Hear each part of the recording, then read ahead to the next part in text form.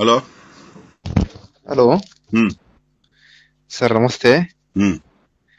Sir ಹರಿಹರದಿಂದ Siddesh ಅಂತ sir. ಹ್ಮ್. ನಿಮ್ಗೆ first time call ಮಾಡ್ತಾ ಇರೋದು ಸರ್ ಬಟ್ ನಿಮ್ಮ ವಿಡಿಯೋಸ್ ನೋಡ್ತಾ ಇದ್ದೆ ನಾನು. ಎಷ್ಟು ಪವಿತ್ರವಾದ ಊರು ಹರಿಹರ. ಹೌದು ಸರ್ ಹರಿಹರ. ತುಂಗಭದ್ರಾ ತೀರದಲ್ಲಿ. ಹಾ ಸರ್. ಎಂತ ಕಾನ್ಸೆಪ್ಟ್ ಆ ಕಾಲದಲ್ಲಿ ಸಾವಿರ ವರ್ಷದಿಂದ ಹರಿಹರ ಇಬ್ರು ಒಂದೇ ಅಂತ. ಯಾಕಂದ್ರೆ ಅವಾಗ ಬೇರೆ ಧರ್ಮಗಳೆಲ್ಲ ಹಾವಳಿ ಇರ್ಲಿಲ್ಲ. ದೊಡ್ಡ ಇತಿಹಾಸ ಇದೆ ಸರ್. ಈ ಶಿವ ಶೈವರು ವೈಷ್ಣವರು ಕಿತ್ತಾಡ್ಬೇಕಾದ್ರೆ ನಿಮ್ಮೂರು ಮೊಟ್ಟ ಮೊದಲ ಬಾರಿಗೆ ಕಿತ್ತಾಡಬಾರ್ದು ನಾವೆಲ್ಲ ಒಂದೇ ಅಂತ ಸಾರಿದಂತ ಊರು ನಿಮ್ದು. ಹೌದ್ ಸರ್ ಖಂಡಿತ ಸರ್. ಹ್ಮ್. ಮತ್ತೆ ಸರ್ ಆರಾಮಿದ್ದೀರಿ ಸರ್? ನಾ ಏನೋ ಮಾಡ್ತೀಯ ಹರಿಹರದಲ್ಲಿ? ಹರಿಹರ ತಾಲೂಕು ಸರ್ ನಮ್ದು ಹಳ್ಳಿ ಬಂದ್ಬಿಟ್ಟು ಬನ್ನಿಕೋಡ್ ಸರ್ ಒಂದ್ ಎಂಟ್ ಕಿಲೋಮೀಟರ್ ದೂರ ಸರ್ ಅಲ್ಲಿಂದ. ತುಂಗಭದ್ರಾ ಎಷ್ಟು ತುಂಗಭದ್ರಾ ಹರಿಹರ ಪಕ್ಕದಲ್ಲೇ ಸರ್ ಹರಿತಾ ಇರೋದು ನದಿ. ಹರಿಹರಕ್ಕಲ್ವಾ? ನಿಮ್ಮೂರಿಗೆ? ನಮ್ಮೂರಿಗೆ ಎಂಟು ಕಿಲೋಮೀಟರ್ ದೂರ ಸರ್ ತುಂಗಭದ್ರನ? ಹ್ಞೂ ಸರ್ ತುಂಗಭದ್ರಾ ಬಂದ್ಬಿಟ್ಟು ಒಂದೇ ಒಂಬತ್ ಹತ್ತು ಕಿಲೋಮೀಟರ್ ದೂರ ಆಗುತ್ತೆ ಸರ್ ಒಂದ್ ಎರಡು ಕಿಲೋಮೀಟರ್ ಜಾಸ್ತಿನೇ ಆಗುತ್ತೆ ಸರ್ ಹೌದೇನಾ? ನಿಮ್ಮೂರ ಹತ್ರ ಯಾವ್ದು ಕಾಲುವೆಗಳೇ ಇಲ್ವಾ? ಕಾಲುವೆ ಇಲ್ಲ ಸರ್ ಕಾಲುವೆ ಹಳ್ಳಗಳಿದಾವ ಸರ್ ನೀರ್ಗಳೇ ನೀರಿಗೆ ಹೆಂಗೆ? ಹಳ್ಳನಾ? ಹಳ್ಳ ಇದೆ ಸರ್ ಆಮೇಲೆ ಭದ್ರಾ ಡ್ಯಾಮ್ ಇಂದ ಬೆಳಕೇರಿ ಡ್ಯಾಮಿಗೆ ಬೆಳಕೇರಿ ಡ್ಯಾಮ್ ಸಣ್ಣ ಡ್ಯಾಮ್ ಇದೆ ಸರ್ ಬೆಳಕೇರಿ ಹತ್ರ. ನಮ್ಮ ಹಳ್ಳಿಯಿಂದ ಒಂದ್ ಆರ್ ಕಿಲೋಮೀಟರ್ ದೂರ ಬೆಳಕೇರಿ ಡ್ಯಾಮ್ ಇದೆ ಸರ್. ಓಕೆ ನಿಮ್ಮೂರಿಗೆ ನೀರ್ ಹೆಂಗೋ? ಆ ಡ್ಯಾಮ್ ಇಂದ ಒಂದು ಒಂದು ದೊಡ್ಡ ಮೇಲ್ ಕಾಲುವೆ ಬಿಟ್ಟಿದ್ದಾರೆ ಸರ್ ನಮ್ಮ ಊರ್ ಮುಖಾಂತರ ಹಿಂಗೆ. ಓಕೆ ಯಾಕೆ ಫೋನ್ ಮಾಡಿದೆ ಇವಾಗ?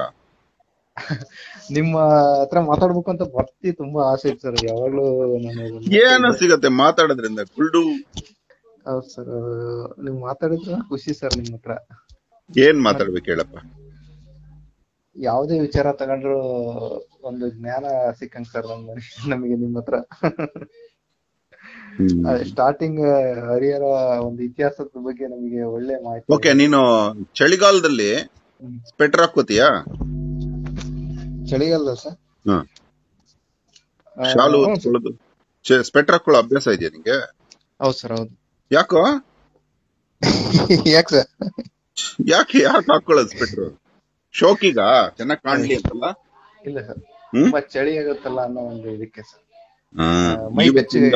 ಇವತ್ತಿಂದ ನೀನು ಚಳಿಗಾಲದಲ್ಲಿ ಅಲ್ಲ ಜೀವನದಲ್ಲೇ ಸ್ಪೆಟರ್ ಹಾಕಬಾರ್ದು. ರೆಡಿನಾ ಹಾ ಹೇಳಿ ಸರ್ ಹೇಳಿ ಸರ್. ನಾವು ಚಳಿಯೊಡನೆ ಸೆಣಸಿ ಬದುಕುವುದನ್ನು ಕಲಿಬೇಕು. ಹೌದು ಸರ್ ಹೌದು ಸರ್. ಇಲ್ಲಿ ನಾವು ಮೂಲತಃ ಕೃಷಿ ಮಾಡ್ತೀನಿ ಸರ್ ರೈತ. ಒಳಗಡೆ ಅಗ್ನಿ ಇರುತ್ತೆ ನಮ್ಮ ಒಳಗಡೆ ಆ ಅಗ್ನಿ ಹೊರಗಡೆ ಇರೋ ಚಳಿನ ಸಹಿಸುವಂತಾಗ್ಬೇಕು. ಯಾವುದೇ ಶೆಟ್ಟರ್ ಇಲ್ಲದೆ. ಹಾ ಯಾವುದೇ ಬೆಚ್ಚನೆ ಒದಗಿ ಇಲ್ಲದೆ. ಇಲ್ಲದೆ. ಚಳಿಯನ್ನ ಇನ್ನು ಮುಂದೆ ನೀನು ಫೇಸ್ ಮಾಡ್ಬೇಕು. ಅದು ನಿನಗೆ ಚಾಲೆಂಜ್ ಇದನ್ನ ಕೃಷ್ಣ ಹೇಳಿರೋದು ಅವ್ರ ಹತ್ರ ಅಲ್ಲ. ಕೃಷ್ಣ ಹೇಳಿದ್ದು ಶೀತೋಷ್ಣ ಸುಖ ದುಃಖೇಶು ಅಂತ.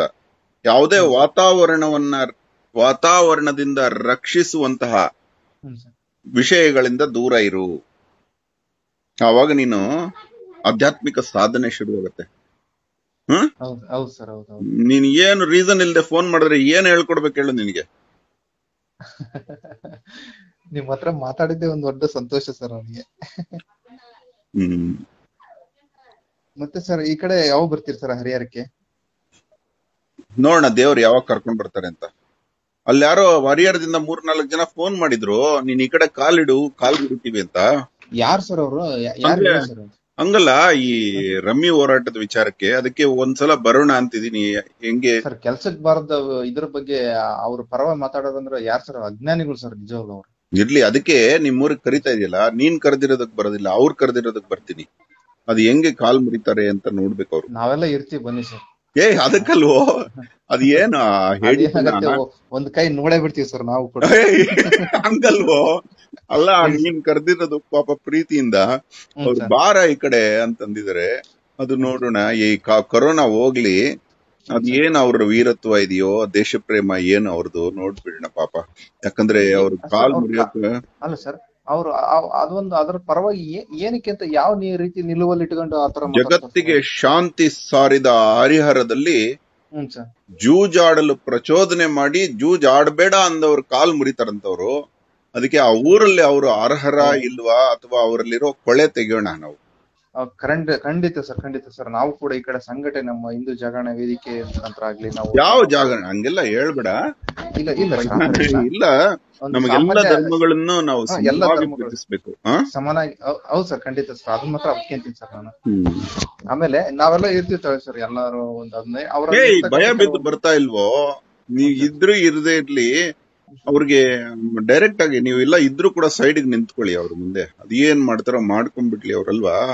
ಮಾಡ್ಕೊಳ್ಳಿ ಸರ್. ಹೌದು ಅವ್ರು ಏನು ಮಾಡಕ್ಕಾಗಲ್ಲ ಸರ್ ಸುಮ್ಮನೆ ಅವ್ರದ್ದು ಈ ತರ ಕೆಲವೊಂದು ಅವಿವೇಕಿಗಳು ಇದಾರೆ ಸರ್ ಹರಿಯಾದ ಕೆಲವರಿಂದ ಕೆಲವರಿಂದ ಊರಿಗೆ ಕೆಟ್ಟ ಹೆಸರು ಬಂದಾಗ ಊರವರು ಅಂತವ್ರಿಗೆ ಬುದ್ಧಿ ಹೇಳ್ಬೇಕು. ಆವಾಗ್ಲೇ ನಮ್ಮ ಕರ್ನಾಟಕ ಉದ್ಧಾರ ಆಗೋದು.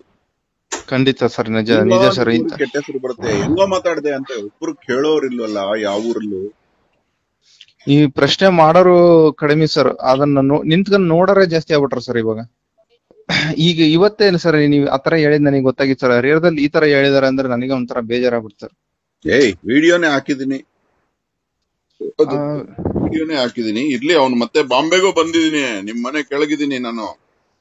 ನೀನ್. ತರಕಾರಿ ಗಿಳಿ ನೋಡೋಣ ಅಂತೆಲ್ಲ ಮಾತಾಡಿದಾನೆ. ಅಂತವ್ರ ಇದ ಇದಾರೆ. ಅಂತವ್ರಿಗೆ ಹಂಚ್ಕೊಂಡು ನಾವು ನಮ್ ದೇಶನ ಜೂಜಿಗ್ ಬಿಟ್ಕೊಡಕ್ಕಾಗತ್ತೇನೋ? ಆಗಲ್ಲ ಸರ್ ಖಂಡಿತ ಆಗಲ್ಲ ಸರ್ ನೆವರ್ ಸರ್. ಹೇಡಿ ಈತನ ದೇವ್ರ ದೇವ್ರ ತರ ತಲೆ ಮೇಲೆ ಕುಡಿಸ್ಕೊಂಡಿರುವಂತಹ ನಟರು ಜೂಜ್ ಆಡಿಸ್ತಾ ಇದಾರೆ. ನಮ್ಮ ಕರ್ನಾಟಕಕ್ಕೆ ಎಷ್ಟು ದುಃಖದ ವಿಚಾರನೇ ಇದು. ದುಃಖದ ವಿಚಾರ ಈಗ ಭಾರತದಲ್ಲಿ ಭಗತ್ ಸಿಂಗ್ಗೆ ಸಿಕ್ಕಿಲ್ಲ. ಇವತ್ತಿಗೂ ಸುಭಾಷ್ ಚಂದ್ರ ಬೋಸ್ಗೆ ಸಿಕ್ಕಿಲ್ಲ. ಇಂತ ಮಹಾನುಭಾವರಿಗೆ ಸಿಗದೆ ಇರುವಂತ ಭಾರತ ರತ್ನ ಒಬ್ಬ ಕ್ರೀಡಾಪಟುಗೆ ಕೊಟ್ರೆ ಅವನ್ ಇವತ್ತು ಭಾರತ ರತ್ನ ಎತ್ಕೊಂಡು ಜೂಜ್ ಆಡಿಸ್ಬಿಟ್ರೆ ಭಾರತ ರತ್ನಾಗೆಷ್ಟು ಅವಮಾನ ಮಾಡ್ದಂಗೆ. ಯಾರು ಪ್ರಶ್ನಿಸುವಂತ ಯುವಕರೇ ಇಲ್ದಂಗ ಆಗ್ಬಿಟ್ಟಿದ್ದಾರೆ ನಮ್ಮಲ್ಲಿ. ಏನು ಯಾಕೆ ಬರಲ್ಲ ಇಂತ ಪ್ರಶ್ನೆ? ಭಗತ್ ಸಿಂಗ್ಗೆ ವಿಶ್ವರತ್ನ ಅವಾರ್ಡ್ ಕೊಡ್ಬೇಕು. ಆ ಇಪ್ಪತ್ತೊಂದು ವರ್ಷದ ಹುಡುಗ ಎಂತ ಸಾಧನೆ? ಒಬ್ಬ ಬ್ರಿಟಿಷ್ ಅಧಿಕಾರಿ ಹೇಳ್ತಾನೆ. ಎಷ್ಟು ಜ್ಞಾನ ಈ ಮಗುಲಿದೆ ಅಂತ. ಗಾಬರಿ ಆಗ್ಬಿಡ್ತಾನೆ ಭಗತ್ ಸಿಂಗ್ನ ಅಧ್ಯಯನ ನೋಡ್ಬಿಟ್ಟು ಹದಿನೇಳು ವರ್ಷದ ಭಗತ್ ಸಿಂಗ್ ನೋಡ್ಬಿಟ್ಟು ಗಾಬರಿ ಆಗ್ಬಿಡ್ತಾನೆ. ನಾವು ಇವತ್ತು ಇಪ್ಪತ್ತ್ ಮೂರು ವರ್ಷ ಡಿಗ್ರಿ ಅಂತ ಹೇಳ್ಕೊತೀವಿ. ನಮ್ಮ ಹತ್ರ ಪ್ರಧಾನ ಮಂತ್ರಿ ಯಾರು ಅಂದ್ರೆ ಗೊತ್ತಿಲ್ಲ ಪ್ರೈಮ್ ಮಿನಿಸ್ಟರ್ ಯಾರು ಅಂದ್ರೆ ಗೊತ್ತಿಲ್ಲ. ಹುಡುಗರು ಎಲ್ಲ ಕಾಲೇಜು ಗ್ರಾಜುಯೇಟ್ಸ್ ಆ ಆ ಟಿವಿಗಳಲ್ಲಿ ತೋರಿಸ್ತಾರಲ್ಲ ಇಂಟರ್ವ್ಯೂ ಅಲ್ಲಿ. ನಮ್ಮ ಪ್ರೆಸಿಡೆಂಟ್ ಯಾರು ಅಂದ್ರೆ ಗೊತ್ತಿಲ್ಲ ಅವ್ರಿಗೆ.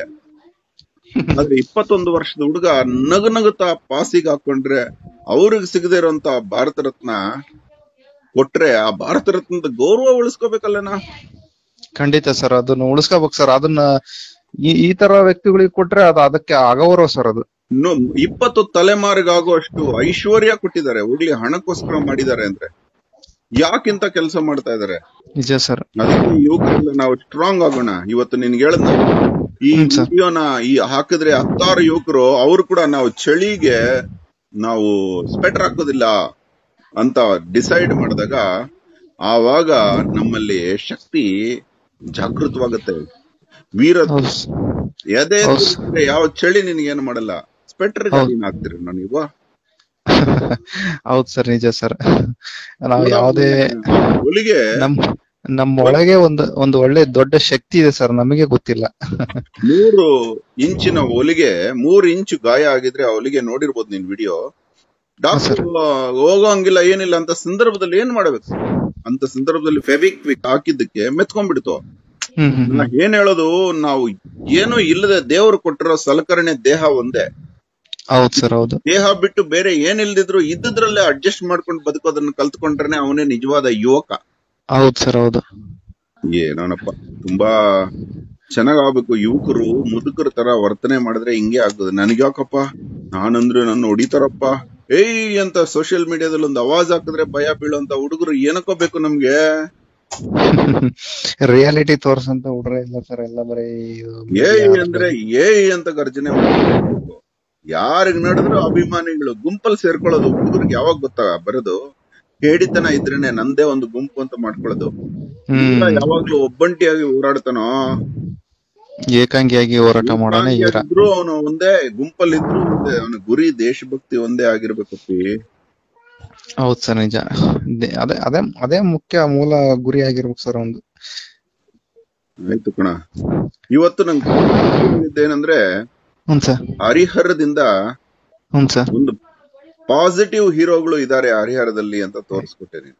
ಖಂಡಿತ ಸರ್ ಖಂಡಿತ ಸರ್. ನಮಗೆ ನೀವು ಅಂದ್ರೆ ಎಷ್ಟು ಇಷ್ಟ ಅಂದ್ರೆ ಅದು ಹೇಳಲಿಕ್ಕಾಗಲ್ಲ ಸರ್ ಅಷ್ಟು ನಮಗೆ ಬಹಳ ಅಭಿಮಾನ ಸರ್ ನಿಮ್ಮ ಬಗ್ಗೆ. ಯಾಕೆ ಎಲ್ಲಿ ಮುಖ ಮುಚ್ಚಿಲ್ಲ ಏನೋ ನೀನು ಯಾವಾಗ ನೋಡಿದ್ಯಾ ಇದರಲ್ಲಿ ಫೇಸ್ಬುಕ್ ವಿಡಿಯೋಸ್ಗಳಲ್ಲಿ ಯೂಟ್ಯೂಬ್ ಒಳಗ ನೋಡ್ತಾ ಇರ್ತೀನಿ ಸರ್. ಒಳ್ಳೇದಾಗ್ಲಿ. ರೈತರ ಬಗ್ಗೆ ಆಗ್ಲಿ ರೈತರ ಒಂದು ಕಾಳಜಿ ಆಗ್ಲಿ ಅಷ್ಟು ಕೆಲವೊಂದು ನೋಡ್ಕೋ. ಇನ್ನೊಂದು ಪ್ರಾಮಿಸ್ ಮಾಡ್ಬಿಡು ಸಾಲ ಮಾಡ್ಬೇಡ.